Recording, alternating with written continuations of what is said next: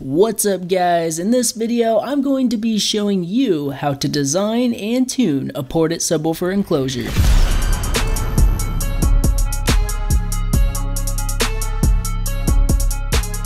When getting a subwoofer, one thing you will need to go with it is an enclosure. The reason you need a sturdy box for a sub is because the sound waves coming off the back of the cone can somewhat cancel out the ones coming off the front, so putting the subwoofer in a properly built enclosure allows it to be much more efficient, which will give you a lot more bass. So if you're watching this and wondering if you should build your own or just buy a pre-made box, I would say if you're pressed for time, don't have the right tools and just want to get the bass bumping, a pre-made box is probably the way to go. You can also buy subwoofers that are already pre-loaded in a box and ready to install.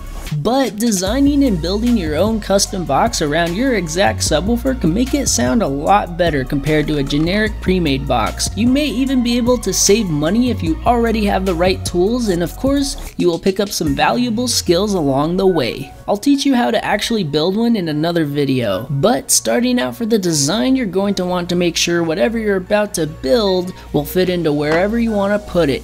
I will be installing the single Rockford Fosgate Punch P3 10-inch subwoofer packed in a ported enclosure in the trunk of this Saab. I'm pretty sure it will fit no problem, but if you're building something bigger and or have a smaller trunk and you're not sure if it'll fit, I recommend getting a rough measure of the trunk's depth, width, and height, then jotting it down. Also not a bad idea to measure the actual opening of the trunk as well. Next, you will want to decide if you want to make a sealed or a ported box. Sealed boxes generally are easy to design and build, take less material to make, and are more compact. They deliver good sound quality but are not as loud. On the other hand, ported boxes take up a bit more room, are more complicated to design and build, but will give you more bass and can be tuned for more sound quality or SPL depending on what you want. I'm going to be designing this with graph paper, a ruler, a compass, and a pen. I would recommend using a pencil in case you mess up, but I'm just using a pen so you can see better.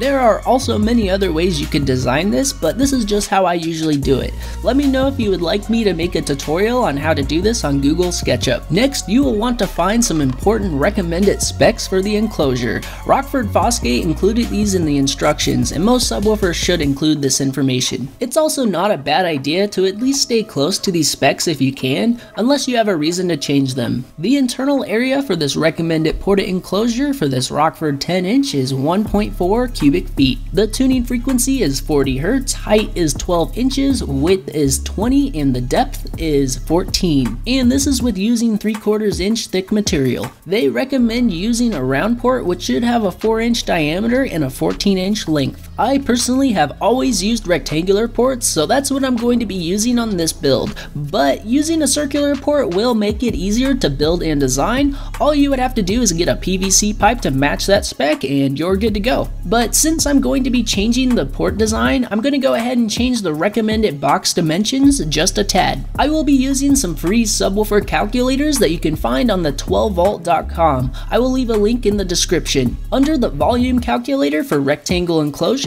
I will put 20 for the width, 14 for the depth, and for the height, I'm going to add an inch, so I will enter 13. This is because the walls for the slot port will take up a little extra space compared to the round port, and will give the diameter of the sub a little bit more room to be bolted on. I'll put 0.75 inch thickness for the material, and this will give us about 1.54 cubic feet compared to the 1.4 that they recommended. Before I calculate the port, let's go ahead and start designing. First thing, I like to jot down what subwoofer it's for and some important specs about the subwoofer like cutout diameter and mounting depth. Then the basic specs for the box I'm building just so I have everything in one place. Since this will be drawn to scale, one square will equal 1 inch cubed in real life. For the front view, I'll start out by drawing a rectangle 20 by 13. I like to have the top and sides overlap with the front because it's easier to make the port opening this way. I'm going to have the top and bottom boards extend all the way to each side with having the sides sandwiched in between. When drawing the overlapping parts, I'll just have to estimate the squares into quarters since I will be using 3 quarters inch MDF.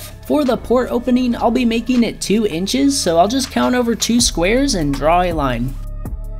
Now I will draw an X on the front board by lining up the corners. This will give us the center point. The cutout diameter for this sub is 9.13, so I'll count slightly more than 4.5, mark it, and then use a compass to draw a circle. You don't actually have to draw a circle, but at least draw a line for the full cutout diameter so you know it's gonna fit. Then I'll draw measurement lines, count the squares, and write the number next to them. This will all make sense in just a moment. On the next page, I will be drawing a top view. Start out by drawing a 14 by 20 rectangle, then add MDF panels so the sides overlap the front and back. Make sure to leave two squares on the front for the port opening. Now we just have to figure out the port length. Going back to the free subwoofer calculators, find the one for the slot port. I'll put two for the width, and looking back at the first page, the height will be 11.5. And now the box volume is going to be 1.54 cubic cubic feet. I will be tuning this box to 35 Hz and pretty much the tuning frequency is when the box will hit free air resonance so basically if the bass gets to 35 Hz or below